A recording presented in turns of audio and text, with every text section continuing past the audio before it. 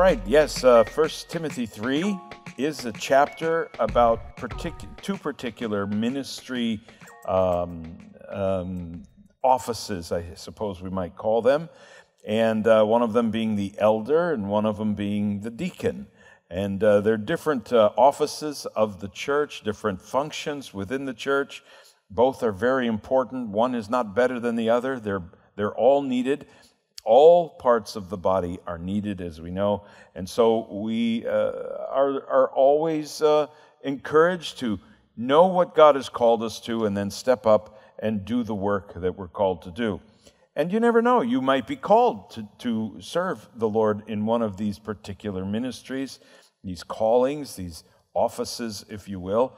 And um, you might have this upon your heart to do so, and you might need some clarification. I remember the first time when, when uh, I was in a church when I was a very young Christian, and I'd never heard of the office of elder or deacon or anything like that. And uh, the pastor uh, was announcing that he was going to do a, a series and teach teaching about the ministry and what that meant. I thought, oh, I like the ministry. I, I'd like to go and learn about that. And so I went to this meeting, and there's probably about 20 guys there. And uh, he said, uh, Who wants to who feels they're called to be an elder? And, and he went around the room and he says, Frank, what, you, what about you? You called, you think you're called to be an elder or a deacon? And I said, I got to be honest with you, I don't even know what they are. And so he uh, was patient with me, fortunately, and he helped me to understand them. And over time, I actually did become a deacon in the church, and then, and then I went on also to be an elder. And so uh, it, it could be that you're in that position today. Maybe you're wondering, what am I supposed to do? Is there something? This might be something that you might be interested in. So in verse 1, this is a faithful saying, meaning that it's true. It's truthful, it's trustworthy, take it to the bank kind of a statement. If a man desires the position of a bishop, he desires a good work. And the word desire, the first desire anyway, this first word desire means to aspire to. If you aspire to be an elder or a bishop, the word bishop is actually episkopos in the Greek. It is a word that literally means to visibly oversee with the intention of caring. So you are visibly overseeing a group or a a, person, in this case, it's talking about part of the church, and you are to care for them. That's the idea of the episkopos, someone who's watching over them and caring for them. We might say elder, we might also say pastor. They're about the same in much uh, of their function. And so that's how we would look at this the elder of the church or elders of the church. And if a man desires this position, if he is willing to devote his life to it. That's what it means, really, to desire this work. If you're desiring this position, it, it has to be a noble desire or with a pure heart. And that's the idea. A lot of people just want the authority. They want the, the position because they think there, there is authority attached to it. That's not really how it works. When it comes to the position, the authority is only in the giftings that, that are divinely, I suppose, um, uh, uh, ascribed to the one in the office. And that authority would be that of the Word of God. In other words, it's the Word of God that has the authority. And the bishop, as we're going to see, or the pastor or the elder, is someone who is skilled in the use of the Word of God. And that's really where the authority is. It's not in the person necessarily, but in his calling or his gifting as it, as it relates to the teaching of the Word. And so, if you desire to, uh, that position, that's a good thing. Uh, it, it's a good work, he says. And so, you're looking at the work that's going to be accomplished through occupying that position. That's really how we must view this if you aspire to that position of elder. That there is a job to be done that needs to be done. It's an important job of, of caring for the flock of God. And so that's what the work is. It's not always easy work, it's not always convenient work, it's not always clean work or pretty work, but it is work and it has to be viewed as, as um, an effort. There's effort involved in doing the work. And so um, it's, uh, don't, don't, don't look at what I do on Sundays and Wednesdays and say, wow, that's a cool job. I wish I could do that. Believe me, there's a lot more involved to it than just that. And so um, it's, it's overseeing, it's caring for people and taking care of as much as you can, as much as is humanly possible in being able to care in that way. But our job primarily is a spiritual one. And the care that we provide for people is spiritual care. And that's the, uh, that's the uh, greatest need that we can provide. A bishop, then, if that's what you want to do, if that's what you aspire to do, well, then here's what we need to work on. A bishop, then, must be blameless. Okay, let's all go home. It's not gonna, that's not gonna fly, of course. The blameless uh, idea here is that you're just not guilty of anything, meaning you're not guilty, you're not, there aren't charges pending. You're, you're not going to be found uh, with an accusation that can be proven against you. Now, you want to take this uh, uh, very slowly and carefully because every one of us here is guilty of something. Every one of us can have blame especially if we're talking about the past. But when we come into the kingdom, hopefully, uh, a lot of that past uh, behavior is slowly being worked out of us. Don't make the mistake in thinking that as soon as you come to Christ and you become a Christian, that poof, all of these bad things that were once a part of your life are all gone. Well, it doesn't quite work that easily, does it? The nature has changed, and now comes the learning of the new life and the new habits and the practicing of those new habits. And so, little by little. But that's why he's going to say in a little bit this is not a position for the young believer at all. This is someone that's thus the term elder. He's older in the Lord, he's older and more mature in the Lord. And so, hopefully, all of his blame days or guilty days will mostly be behind him. And uh, he's not one who is notoriously sinning.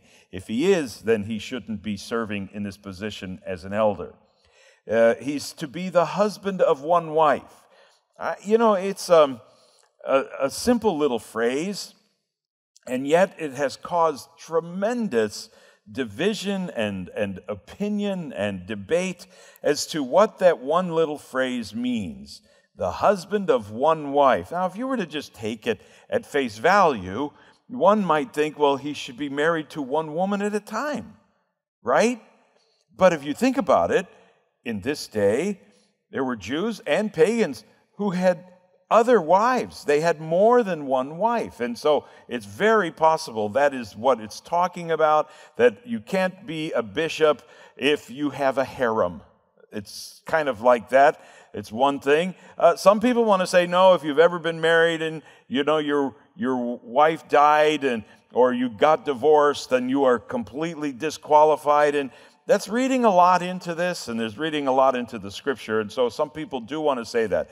But let me put it more simple, even simpler than that. A husband of one wife just simply means you are, you, you are married to the woman that you love and you're going to stay devoted to her. You, you're devoted to that one woman. And the reason that's important is he's going to compare the, the, the eldership to the, the leadership over the church. This principle of devotion to your wife and your admiration to your wife is a characteristic of how you're to minister to God's church. You're devoted to it. You're faithful to her. You're faithful to the church. You're going to be committed, and you're not going to be running around looking for other things and other enjoyments. You are committed to the work that is at hand in the church, you're committed to your wife, and that's the idea. You're, you're stubbornly attached to the woman that you're married to, and that's the way it's supposed to be. The husband of one wife, temperate. The word temperate is a word that means uh, self controlled or balanced, is a good phrase. balanced and that your mindset is not going to be one day you're way over here, the next day you're way over here. There's a balance to your life. You're well balanced in the way you're approaching it. Now, this word temperance, if you think about it, also can is a word that we used in conjunction with drinking, and that one would abstain from drinking. It certainly can also mean that, but as we're going to see, there's it's more more or less a balanced approach to drinking as opposed to complete abstinence. Uh, we'll see that in, in just a little bit. So, temperance, meaning you are in control of yourself most of the time. Uh, Sober minded or clear headedness, you're able to think clearly, you're able to have your thoughts under control, and you're not, um, you know, uh, you're, you're not someone who himself might need. Um, psychological counseling, let's say, or you're, you're balanced to the degree that you are able to help other people, which is your job. And someone who is of good behavior. Good behavior here is one that's, uh, it, it, means, um, well, good. You're good. You're a good person. You, you are um, a dignified person. You are someone that is honorable or respectable in the way he behaves. And uh, you're, not, uh, you're not scandalous. You're not going to embarrass the Savior. You're also someone who should be hospitable. Hospitable in this day, of the day that this was being written, was very important for travelers who would come through. Hotels, you, you couldn't find the Ramada or the Motel 6 on the corner as easily as anyone else, as, as you can today, I mean. And so when Christians were traveling from town to town, they would often need lodging. And, well, the elder could, should be willing to open up his home to be able to house these traveling brothers and sisters who were coming through. And hospitality is a very good uh, trait, it's an old fashioned trait. We don't necessarily see a lot of that in the same way we would have in that day, but it is a good trait and it's something that um, always re, uh, offers warmth and kindness to people, especially those who are traveling. And able to teach, and this is what I was talking about. The bishop or the elder is someone that should be able to teach. Now, uh, that doesn't mean that the elder is going to be able to stand in a pulpit and, and teach the Word of God necessarily. My point is, is that in this day, when Paul was writing this to Timothy, they didn't have pulpits. That's not how they would sit and teach. They would actually gather, probably in, in a circle, mostly small circles, and then explain the word. They would read the Bible and explain it, much in like what we're doing here on Wednesday night. But a person, an elder who is uh, skilled at teaching or able to teach, is someone who can explain what the Bible means. And you keep it in mind too, in that day they didn't have the Bible per se, they had the Old Testament. And so they would take the Old Testament and explain Jesus from the Old Testament. Then they would receive a letter from the Apostle Paul, and Timothy would grab it and he would read it and he would say, Oh, guys, let's get together. I want to read to you what Paul said. And then he would sit and read this letter to them, and he'd say, What he means is this, and this is how we should behave, and, and this is. And, so there came the explanation of the teachings that were given through the Christian teachers and prophets. And so we had, they had to explain that. And that's what a teacher or an elder is. An elder who is able to teach understands the Word of God and is able to explain it to someone so that they can understand it themselves. That's a very good thing. So, not everyone stands in front of people to teach, is why I'm saying this.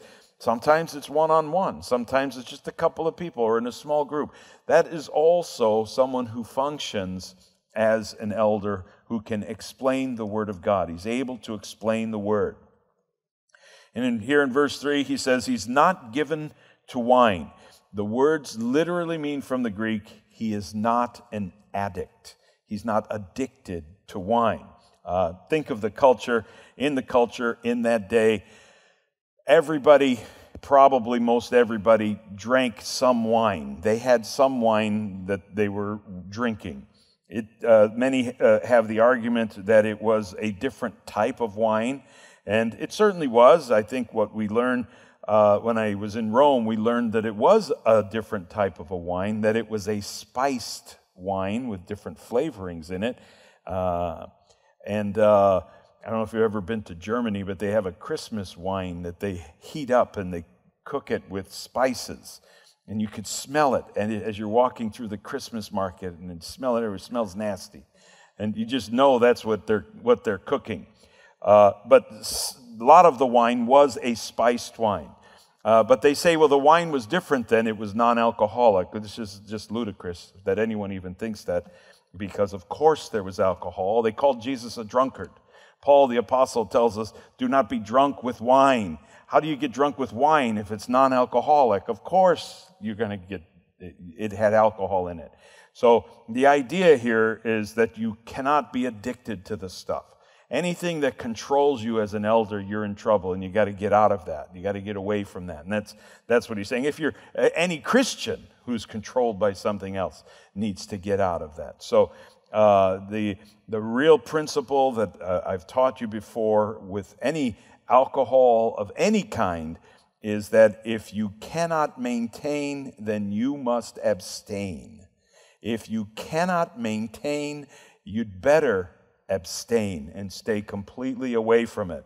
The word temperance that we talked about can also mean abstinence. So be careful. If you can't control any of your liberties, then you have to stay away from those liberties and you must presume it is not your liberty any longer.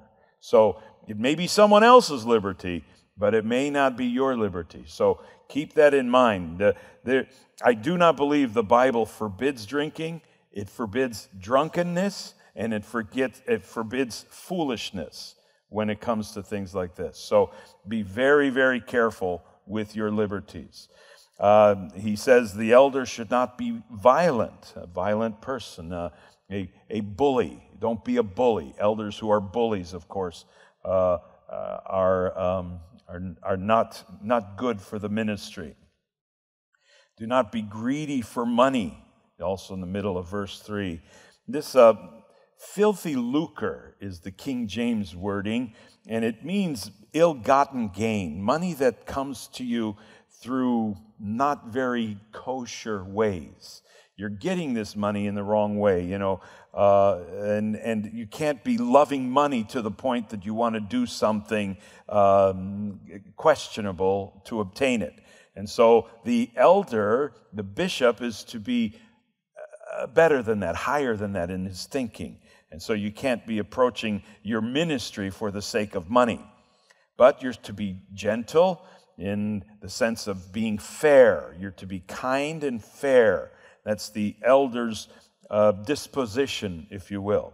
And uh, you want to become that. And listen, you know, we're talking about a lot of things here. Um, when you come into the faith, a lot of, a lot of the times, you can, become, you can be naturally some of these things. But then there are those who are not naturally these things. And so the idea is sure, you want to have this position, but there should be a certain sort of quality of individual that's going to occupy the position. And so work on these areas of your life. Go and work on these areas of your life. I can assure you that in all of these areas, as we go through the list, there's, there's still more. We're only halfway through. But there's still more qualifications for the position of elder. Just because someone fulfills or fills the position of the elder doesn't necessarily mean that he's going to be great at all of these things. He should, however, be working or moving in the right direction with these things becoming part of his personality, part of his nature, part of his character. These, if you will, are spiritual graces. But as you go through them, you realize this isn't really just for the elder. This is what Christians are to strive for. We're all supposed to be of this type of quality, this type of character. It's not just the elder's position. But what I think Paul is saying is if you're going to occupy the position, then you really need to be a little further advanced in your spiritual maturity so that these things are in better control. Uh, guaranteed, I guarantee that there are some of you in this room that are better at some of these things than I am. But I can tell you that we are all striving to be better at these things. And that's the idea. And uh, so we may put a person who's in, who, into this position of elder, and they may not be very strong in this area, but they'll be really good in all of the other areas. and we expect that in time, all, those, all the areas will catch up to themselves. So that's the hope. In case you were going through this list and you got it burning in your heart that you want to be an elder, you believe you're called to be an elder, but you think, oh, I'm disqualified after the second, third one. I'm, there's no way. That's okay. Just keep working with the Lord, keep walking with Him, and watch how He continues to change because He doesn't put these desires in your heart unless He wants you to fulfill them.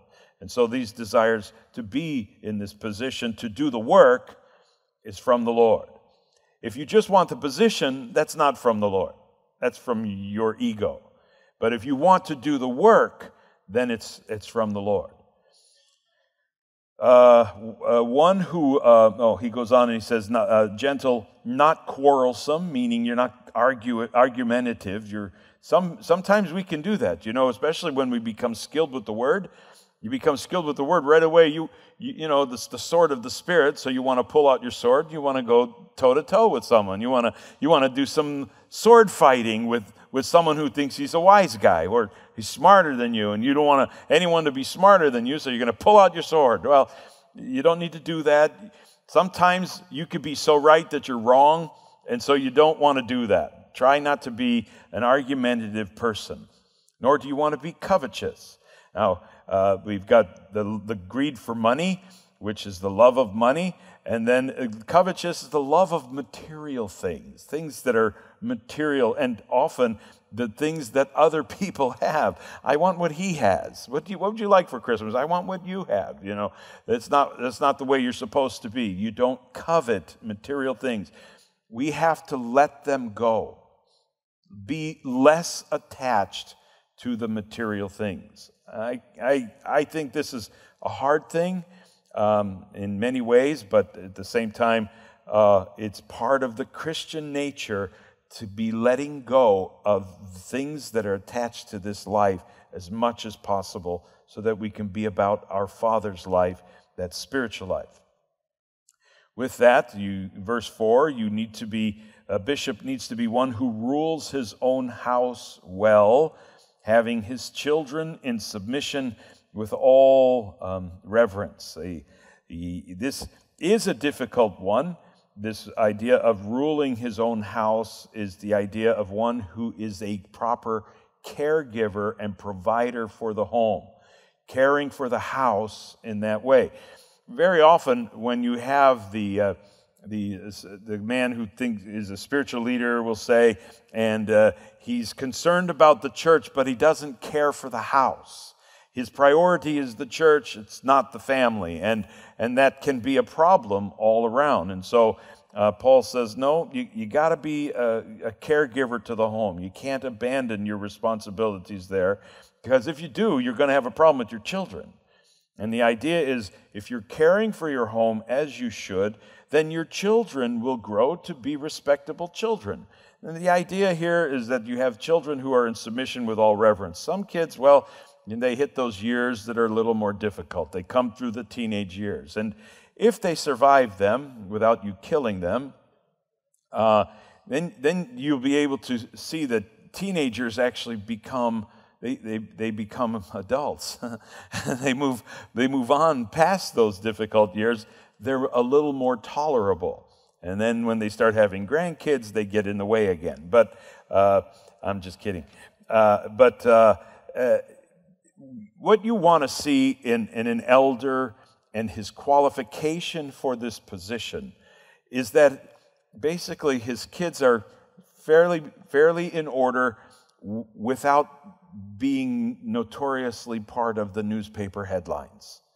You don't want them to be troublemakers and they're going out of control because then what has to happen, it's not that he's necessarily disqualified from the position of elder, but then it may be better for the elder candidate, let's say, to remove himself from that realm so that he can focus even more intently on what's going on at the house.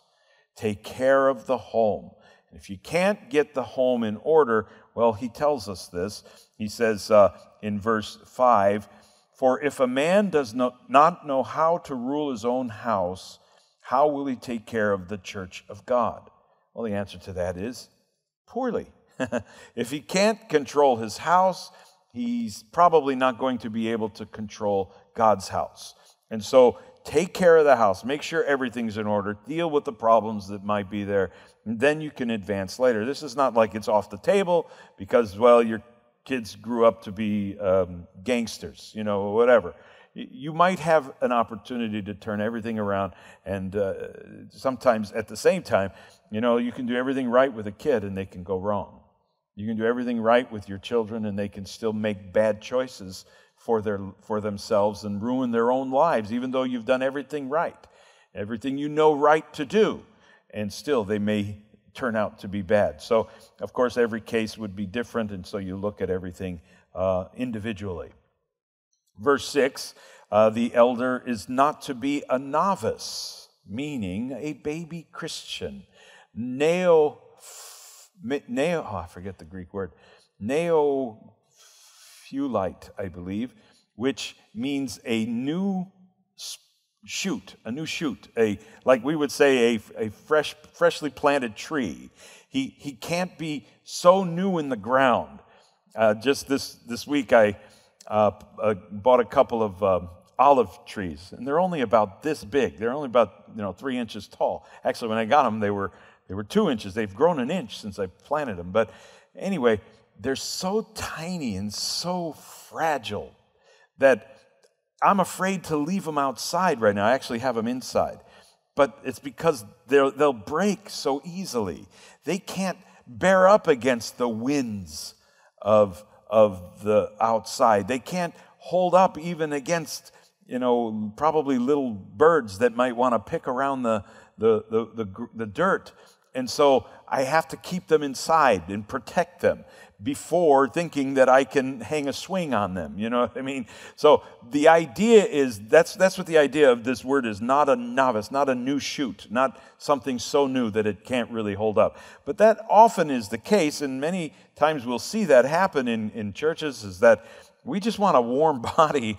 And if you're breathing and you're alive, would you like to be an elder? And uh, oh, sure. I don't know if you've ever been to some churches, but everyone in the church has a title of some sort. Everyone's got it. That can't be possible. How could everybody? Is you know what they say? Too many, uh, too many chiefs and not enough Indians. That's sort of a, a bad recipe. Well, you, you, either they're qualified or they're not. And it's better. I have found after many mistakes, I have found that it's better not to have any elders for a while until you can develop men qualified to be able to fill that position. It's better to, to wait a long time until, until you realize I can't do the work alone. We've got to have more help. And then you look for qualified people who can go in that position. But they shouldn't be baby Christians. They shouldn't be new newborns into the faith they certainly need to have some mature legs so that they could bear up against the pain or the work of the ministry, and there's a lot of it. And so, uh, not a novice, and there's another danger lest being puffed up with pride, he fall into the same condemnation as the devil. Boy, that, that should scare you. The idea is when you put a, Christ, a young Christian in a place that he shouldn't be, the chances of him getting his head knocked off by the devil are pretty good. The chances of that happening are almost probably more so than them not happening. So you want to be very careful in putting someone who's not qualified or too immature in the faith. They shouldn't be there, lest he be puffed up. The word puffed up means up in smoke. That's what it means. He, he just blows up in smoke. It's, it's uh, uh, like a poof and it's gone. That's the problem. You don't want someone who shows potential to be put in a position that will never realize the potential because he's just too young. he doesn't have the stamina for the long range ministry.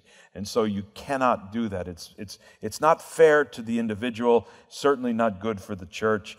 And you, as the pastor, leader of the ministry, are going to pay for it as well. So don't do it. They will be puffed up with pride and fall into the same judgment or destiny of the devil. Oh, what a terrible thing. And so you don't want to you don't want to put someone in that position. That would be a, a terrible thing. Moreover, he must have a good testimony. He needs to be a good witness. What is he like? His testimony among those who are outside, meaning outside of the church. What kind of a Christian is he when he's not at church? Good question, right? Now, I said, as we're going through this, this is the qualifications of an elder. But I also said these are the things all of us as Christians need to be thinking about and concerned for. What kind of a Christian are you when you're not at church? That's important. And the idea is, is that if you want to advance further in the growth and knowledge of the kingdom, then your Christianity has to take over every part of your life. Wherever you go, you are still the child of God and you are a Christian. And your life should reflect that. And that's, of course, especially the case with someone who professes to be an elder or aspires to be an elder. Why is that? He says, because uh, uh, lest he fall into reproach and the snare of the devil. So, one is the condemnation of the devil, one is the snare or the trap of the devil. What is the trap? It's the trap of hypocrisy. One is the trap of immaturity and pride, which leads to pride. And then, of course, the other is hypocrisy, that you think you can behave two different ways depending on where you exist. And you say, well, that's, you know, I, I can compartmentalize. no, you're a hypocrite. And that's not what you can be. You've got to be Christian everywhere. And your behavior at the church should be the same when you're at your job or when you're at the market or when you're at somewhere else. And it's important.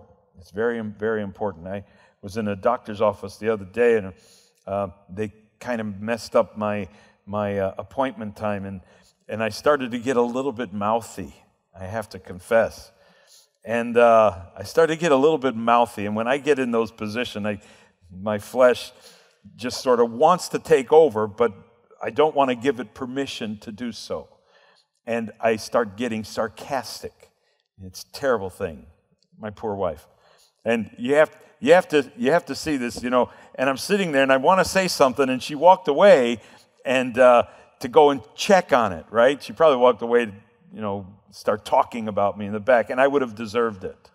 I would have deserved it. But, and I'm sitting there thinking, darn it, why did I do that? I, just shut up. You know, I was talking to myself, stop being a big whiner. It's, it's going to work out. And even if it doesn't, it's just an appointment. You go back and do it again. You know, it's no big deal.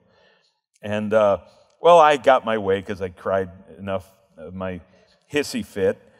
But I felt bad about it, I have to say, because I don't like even that little, it wasn't bad. I didn't make a scene. And fortunately, it was just her and me in the room and no one else. But still, it was enough for me to say, to, to have a convicted heart, to say, You were a jerk.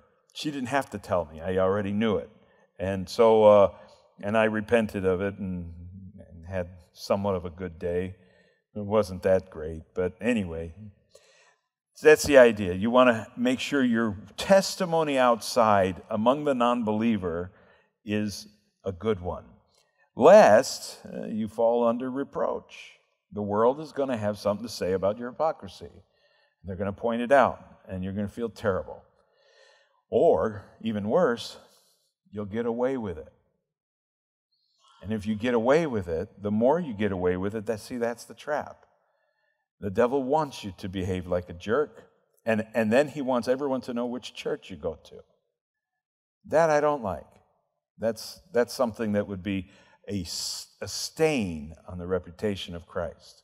So we don't want to do that. So be careful. Now, we move from the elder and we go into the deacon, likewise, or in that same manner, meaning uh, your deacons uh, pretty much are under the same requirements as the elder, and they're about the same. Different positions, different functions. They do different things. Um, you first, we first see the idea of deacons in Acts chapter 6.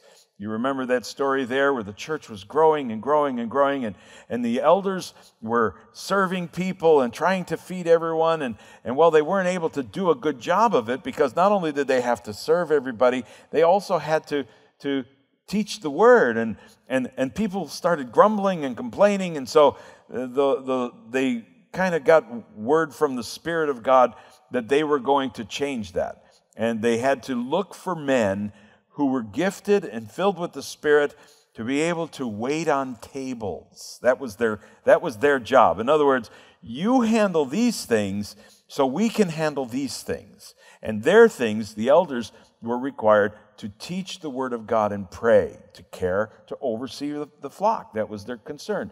Whereas the deacons were responsible to make sure that all of the other needs were cared for. And that's really how we function here at uh, Calvary Chapel. And yet, we kind of all see ourselves as deacons also. We're all deacons, I, I think, which, which literally means a king's servant. A deacon is a king's servant.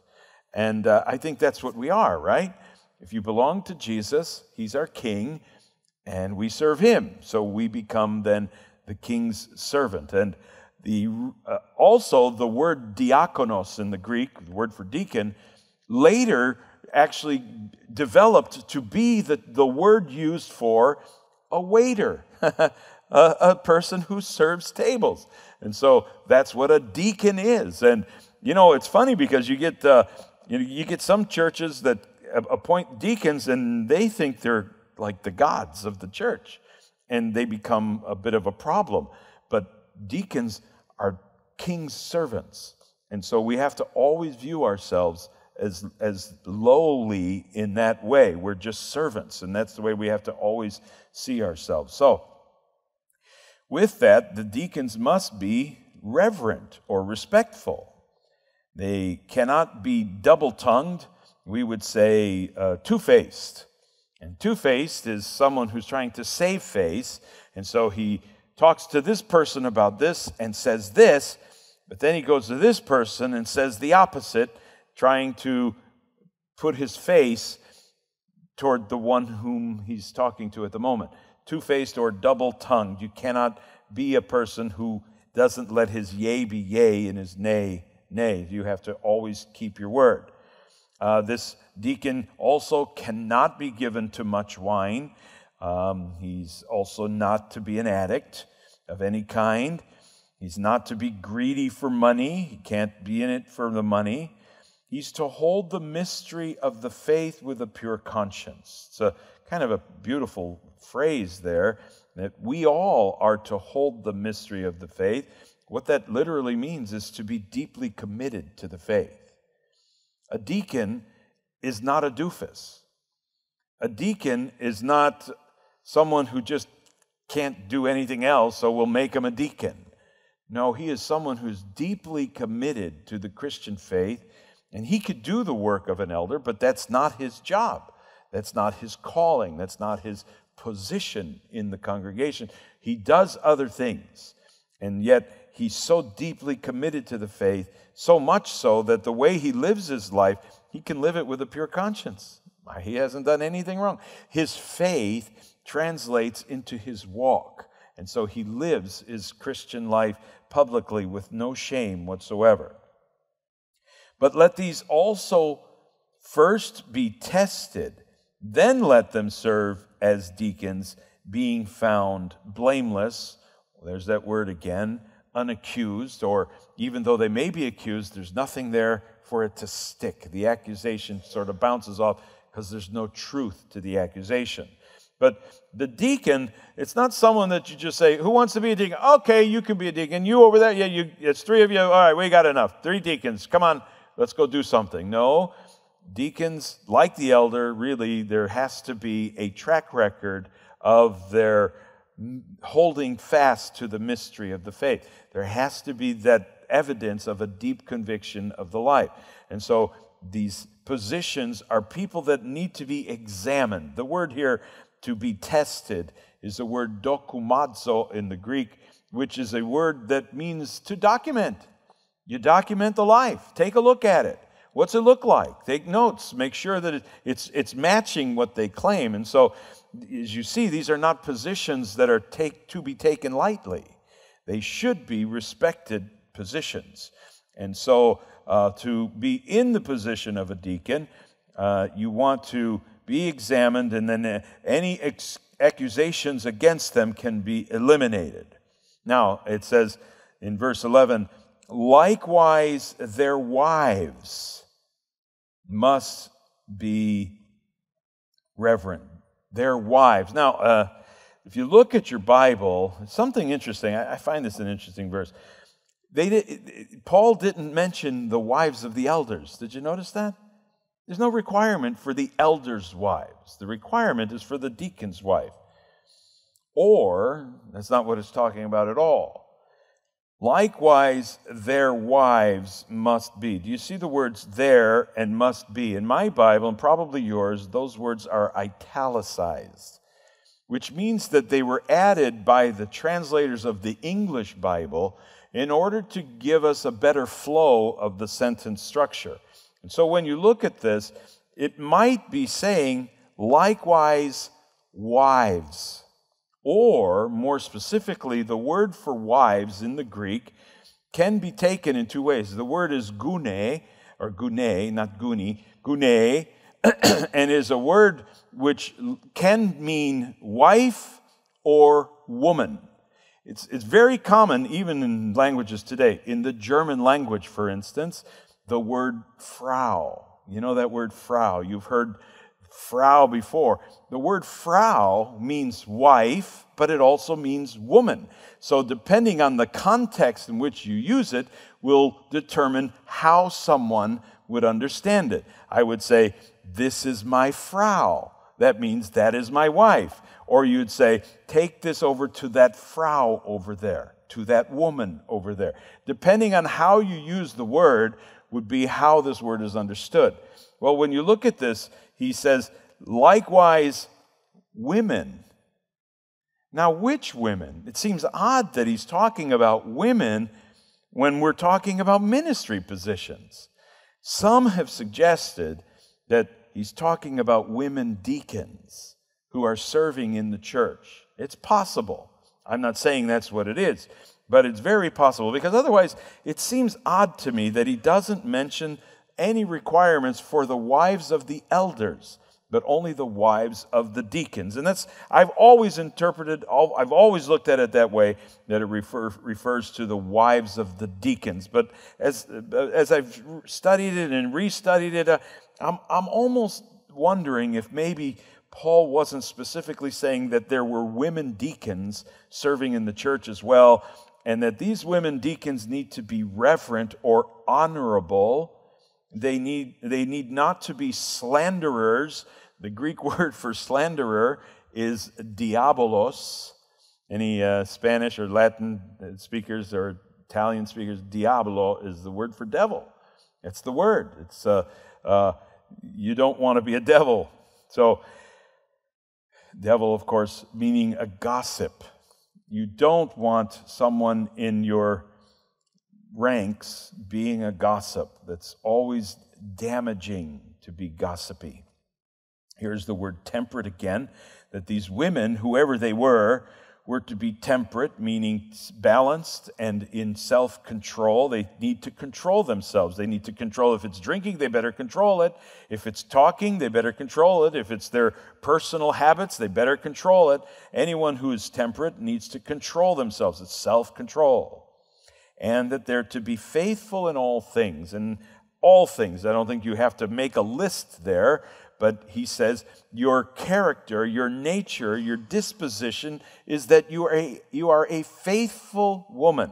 And the, he mentioned also the elder was to be faithful too. So we know that it crosses across the board. It's not about just women, it's not about that. This is ministry. I'm, I'm more and more convinced that what Paul is talking about is women who serve in the ministry. Whether they're deacons or whether they're serving in the ministry, we do have lots of women who serve in the ministry. This is a requirement for you. These are things that you're to be responsible for in your personality, that you are in control and faithful in all things. And back to the deacons, and here's again, this doesn't make sense to be talking about women in general or possibly their wives, but let the deacons be the husbands of one wife, of course, same thing there, and ruling their children and their own houses well. So, similar requirements as the, those of the elders. For those who have served well as deacons, obtain for themselves a good standing or a respectable standing among others, and great boldness in the faith, or boldness, a great confidence that you will have in the faith as you serve the Lord uh, well as a deacon.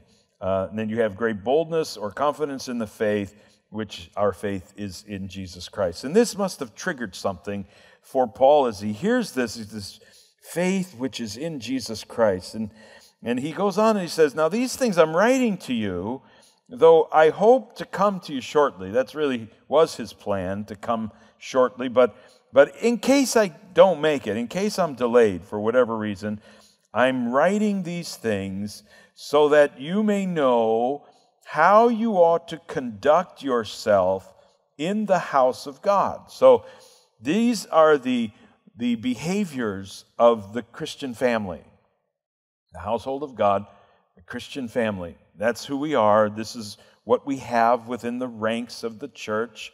We have bishops, we have, we have deacons, and uh, we have women ministers. We have all of these people all working for one common good, which is the Christian faith. And as we all do our jobs, we expect that we're going to have a great confidence uh, of, of, in our faith in, and in the Lord Jesus Christ. And he says, So um, I'm writing that you know how to behave. And uh, I'll tell you, it's a, a good thing when we have these instructions and we do our best to stick closely to them as much as possible. We can go to the book of Acts, we can try to find how a church is to behave today. You know, there's not a lot of great detail on how church is to be uh, held or how, how do we hold church. How do we do church? It's not always easy to know that. And that's why there are so many different opinions. We, we call them denominations. We're all one body, those are our true Christians. We're all one family, but we seem to all have our different preferences. And that's okay. How many of you have, have a brother or a sister and they live just a few miles away from you, and your house and their house are really two different things? But you're still one family. You still love each other, but you behave differently. And that's okay. We have one family. It's gigantic, it's global, it crosses all kinds of generations. But in each different household, we behave differently, and that's perfectly okay. We don't um, need to uh, begrudge anyone for doing things differently. But often it boils down to how we understand what the scripture is telling us. And if we're paying attention to the scripture, you'll notice that, that there isn't a lot of great detail on the way we're supposed to do it. So that's why this passage here in 1 Timothy becomes so important. These are things that we know. This is how we're supposed to behave, so we should pay attention to them and then start applying them as we can. And so we learn how to behave in the house of God because he calls it the church. The word church here not used a lot of times in the New Testament, but it is used a few times. It's the word ecclesia, and it is the word which means an assembly or called out ones. We are the ones called out to assemble. We are assembled together. And so when we come to church, we are assembled together. We have this phrase, the house of God. Is this the house of God? It is only the house of God when we have ecclesiaed, when we have gathered here. That's what makes it the house of God. When it's not here, it's my office, if that makes sense. And God doesn't live here unless you're here to bring him here, so to speak. And yes, we can go on. God is everywhere. Yes, we know that. He, he's everywhere. But the point is, people refer to churches very often as the house of God, and so did Paul. but he's saying it is the house of God when we are assembled in it. And that's what we can say. It is the assembly of the living God, the pillar and ground of the truth. And I, I think it's appropriate as you think of, if you've ever been to the uh, um, uh, ancient lands, to Israel, Greece, uh, Rome, columns and pillars, gigantic, tall, all over the place. And Paul is seeing this, writing to Timothy in Ephesus, where all these pillars are. You know the pictures you've seen of the uh, of Ephesus and the and the temples that are out there. These columns are enormous and still standing today, and they're huge. And Paul is is making a, a picture here for Timothy to see. Those pillars hold up everything. They're very important, but they were also prone to earthquake. And so those pillars are all toppled over, and a lot of them are toppled over in those ancient lands from earthquakes. And so here he's saying the ground or the foundation of the truth. But this word, ground of the truth, these words really means the, the stabilizer. The church stabilizes the truth in a sense, and it holds it. Think of the term buttress. A buttress is a, a, a uh, something that you lean against a wall, let's say, to, to make it stronger. And you're able to hold it up. And that's the idea of the Christian church. And the Christian church is to hold up the truth. We're to be the foundation of the truth, the, the bearers of truth in the world. And uh, that's why it's important we get these things right as much as we possibly can and without controversy, without question. That's what he's saying. There's no question about this. Great is the mystery of godliness, or what an incredible faith we have. What an incredible belief we understand this gospel to be. What this mystery of godliness, or our faith that leads us to godliness. And he goes on to explain it in, the, in this version of the Bible. God was manifest in the flesh. Some versions just say, who was manifested in the flesh, or Christ was manifested in the flesh.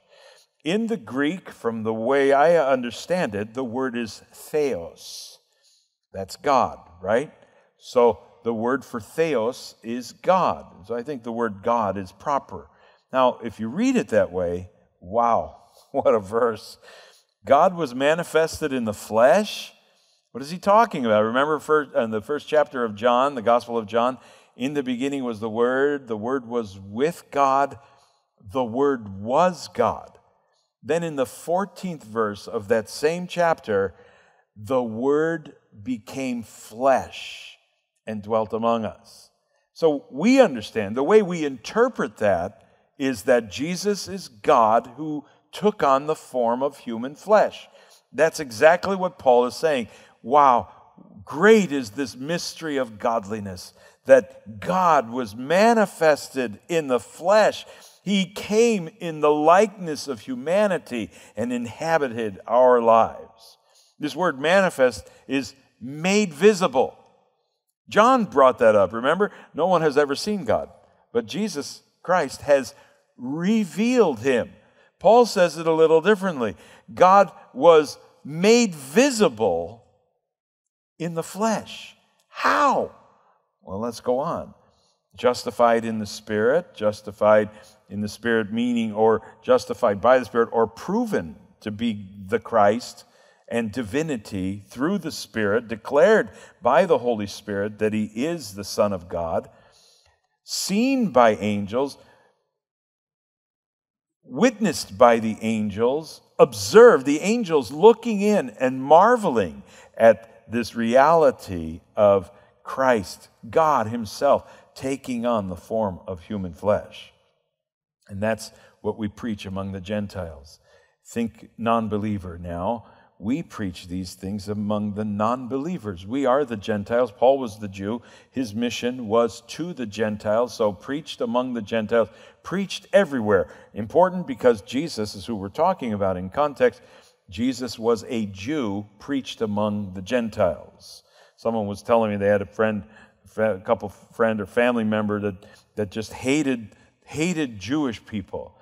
And uh, I asked, "Are they Christian?" Yeah. Well, they believe they believe in Jesus. Well, did they know Jesus was a Jew? Because sometimes we forget that. You, you, it just doesn't make sense to be a Christian who hates Jews.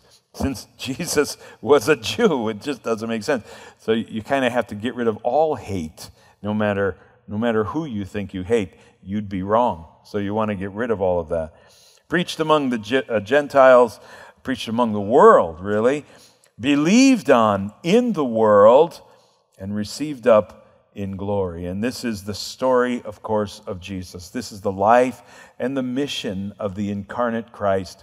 We're talking about Jesus Christ. So, this verse, verse 16, Jesus is God. That's what this verse is declaring. And we have other verses that, that say the same thing, but opponents of this teaching just don't want to believe it. So, fortunately, there are many places in the New Testament that actually teach us that Jesus is divine, He is the Son of God, He is God incarnate. And so we worship that God. And wow, as Paul would say, great is this mystery of godliness.